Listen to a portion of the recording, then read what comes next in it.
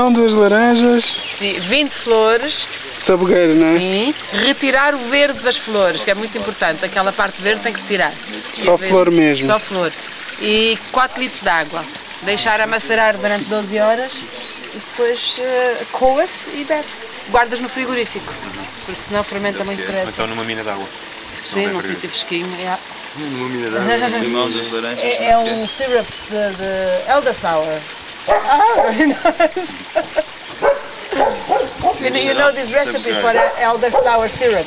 Olha, sirope, sei em tudo aqui. Syrup é uma Xarope. espécie de xarope. It's, You make a tea with sugar. Uh, it's like a tea, but you keep it in the fridge and then you uh-huh. dilute it with water. Aham. So